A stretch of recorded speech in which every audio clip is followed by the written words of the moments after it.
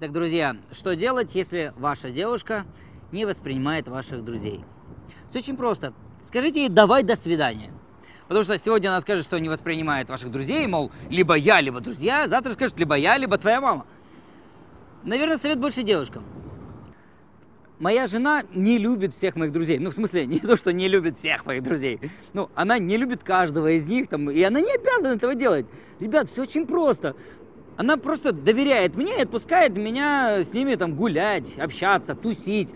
Единственное, что, смотрите, когда вы идете с друзьями э, гулять, не приходите каждый раз в дрыз пьяными. Примите, ну, ну, ну, чтобы она их действительно... А за что их любить, если вы пошли гулять с друзьями, пришли под утро, сказали, извини, родная, я за гитарой, и ушли опять.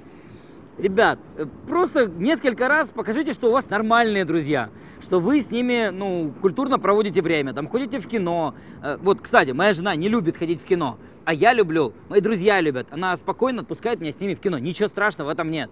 Вот, придите несколько раз, нормально.